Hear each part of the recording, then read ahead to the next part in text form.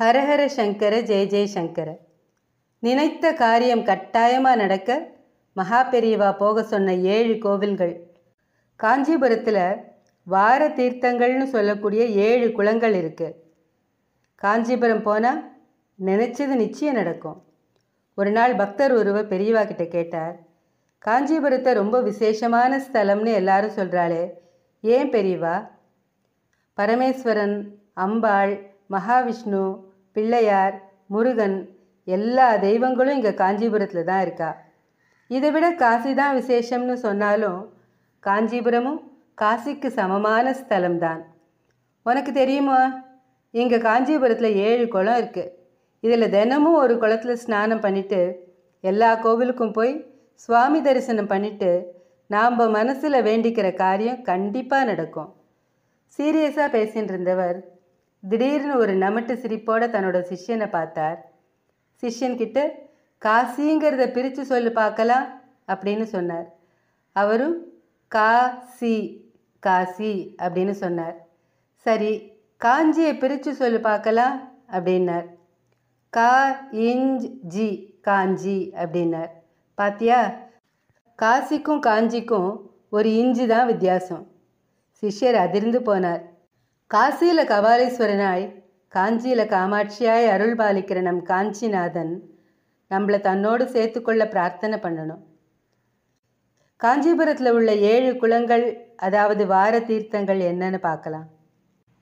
ஞாயிற்றுக்கிழமை கச்சபேஸ்வரர் கோவில் இது ஸ்ரீமடத்திலேருந்து பஸ் ஸ்டாண்ட் போகிற வழியில் இருக்குது இந்த குளத்துக்கு எதிரில் சூரிய பகவான் கோவில் இருக்குது திங்கக்கிழமை ஏகாம்பரேஸ்வரர் கோவில் செவ்வாய்க்கிழமை மங்கள ஈஸ்வரன் கோவில் ஸ்ரீமடத்துக்கு எதிரிலேயே இருக்குது புதன்கிழமை திரு காளீஸ்வரர் கோவில் வியாழக்கிழமை காயா ரோகணீஸ்வரர் கோவில் வெள்ளிக்கிழமை காமாட்சி கோவில் சனிக்கிழமை சர்வதீர்த்தம்.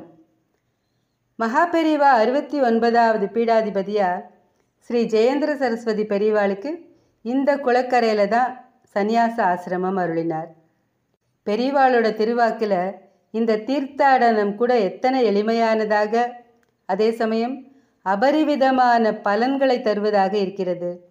மனதில் நினைத்த காரியம் நடக்க எண்ணியது நிறைவேற வாழ்வில் தடைகள் நீங்க மகா பெரியவர் போக சொன்ன இந்த ஏழு கோவில்கள் இவைதான். மகா பெரியவா அருள்வாக்கு.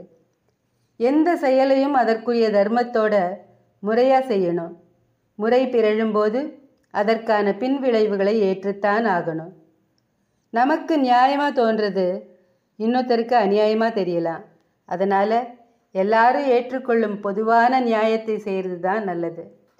நிலையான இன்பங்கிறது கடவுளிடம் கொள்ளும் பக்தி மட்டுமே.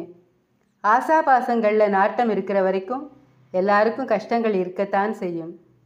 ஒருவனுக்கு பணமும் பதவியும் இருக்கும்போது உண்டாகும் சுகத்தை விட அதை பாதுகாக்கணும் பதவி போயிடக்கூடாதுங்கிற எண்ணம் தான் அதிகமாக இருக்குது உலகத்தில் இருக்கிற எல்லாருமே நான் தான் புத்திசாலி நான் தான் ஒழுக்கமானவன்னு நினச்சின்னு இருக்கா? அதே மாதிரி இந்த உலகத்தில் என்ன மாதிரி யாருமே கஷ்டப்படலைன்னு நினச்சின்னு இருக்கா? அது தப்பு. அவரவர் தகுதிக்கேற்ற பிரச்சனை அவரவர்களுக்கு இருக்கத்தான் இருக்குது நம்ம கோபம் எதிராளியை மாற்றாது. மாறாக நம் மீது மேலும் எதிர்ப்பை வளர்க்க செய்யும். அதனால் கோபம் இரு தரப்பிலும் வெறுப்பினை அதிகரிக்கவே செய்கிறது. கோபத்தை விட வேண்டும்.